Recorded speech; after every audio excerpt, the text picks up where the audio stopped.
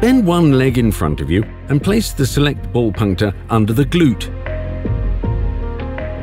You can apply pressure to one area statically and relieve the entire muscle, or you can try rotating slightly in circular motions by supporting the arms on the floor.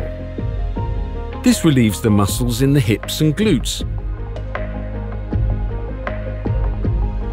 Repeat the same exercise with the other leg bent in front of you.